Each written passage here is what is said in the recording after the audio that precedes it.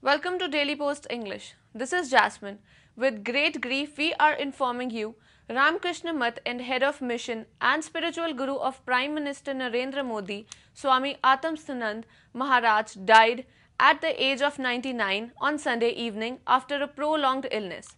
They were admitted to Ramakrishna Mission Service Establishment located in South Kolkata from February 2015 regarding age-related diseases. Chief Minister of West Bengal, Mamta Banerjee, has condoled the demise of Swami Maharaj. It is mentionable that his condition has worsened from Saturday morning and he was kept on ventilator. His dialysis was going on. Seeing the news of his poor condition, the chief minister reached the hospital to see him. Medical report was formed for the treatment in which 16 doctors were involved.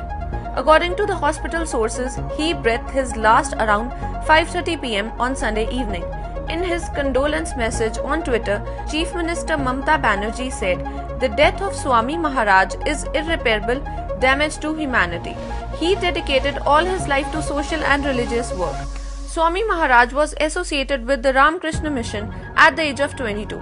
In May 2015, when PM Modi came to Kolkata, he went to the hospital to meet Swami Maharaj. PM Narendra Modi has expressed grief over the demise of Swami Maharaj. He described the demise of Swami as his personal loss. Modi wrote on Twitter that I had been with him during the important moment of his life.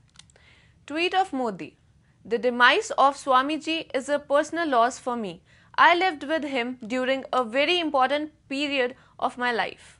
For more updates, you can follow our Facebook page Daily Post English and our website www.dailypost.in and you can also subscribe our YouTube channel. Thank you.